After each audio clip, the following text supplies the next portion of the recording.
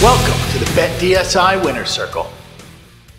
Fox will be televising NASCAR's Auto Club 400 on Sunday from the California Speedway in Fontana, Southern California. Jimmie Johnson and Kyle Busch are the favorites to win. Johnson has made Fontana his personal playground with five wins, while Busch is this year's defending champion. Each is listed at about 5 to 1 in NASCAR odds at BetDSI Sportsbook. Here's a look at this race and the NASCAR predictions. Chevy driver has won 12 of the 24 Sprint Cup races at Auto Club Speedway and 7 of the last 10. Johnson leads the way with 5 wins while Jeff Gordon has 3. It could be another Chevy driver winning on Sunday with Johnson one of the favorites. Also in the mix should be Dale Earnhardt Jr., who's off to a hot start this season. The last couple of times we've been to California, we've had some good race cars. It's a track where we can move around and change our line, and the driver can have a little input on how the car is driving. I think we'll have a good weekend, said Dale Earnhardt Jr. There have been 24 NASCAR Sprint Cup races at the Auto Club Speedway in Southern California. Jimmie Johnson holds the record for the most wins at five, while Jeff Gordon and Matt Kenseth both have three. Starting up front is not a big deal at Fontana, as only twice has the winner started on the front row, and just nine times has the winner started in a top five starting spot.